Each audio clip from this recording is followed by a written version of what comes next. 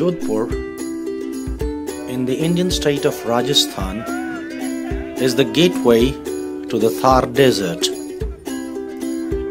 I'm currently at Osia, which is around 70 kilometers from Jodhpur, and this is the exact point at which these sand dunes become easily accessible to the people for adventure sports.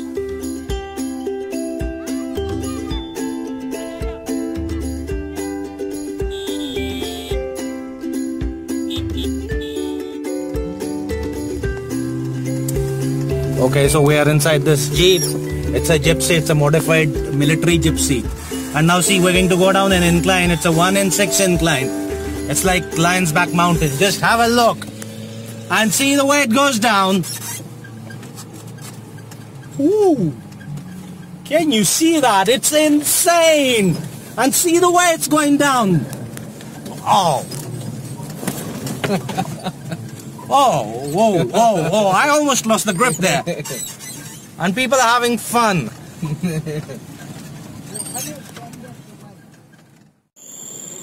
We've just been to Osian.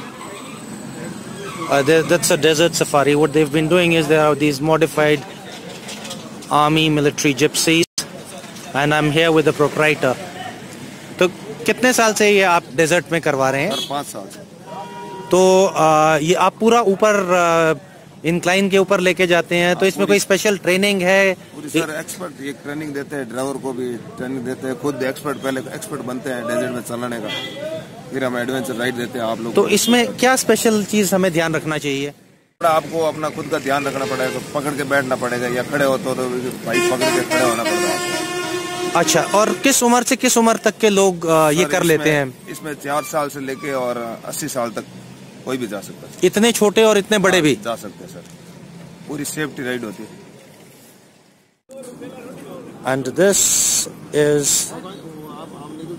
the tea don't miss the tea it is being taken in something called a kulhad and it is an earthen pot amazing tea refreshingly served.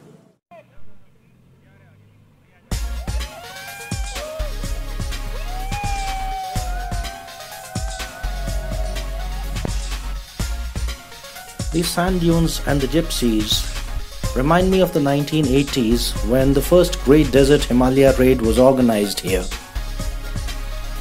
These gypsies were absolutely fantastic and they were leaders back then. It was very refreshing to see them hold fort even today. We got fantastic shots at sunset, and these were actually memories that will be cherished for a lifetime.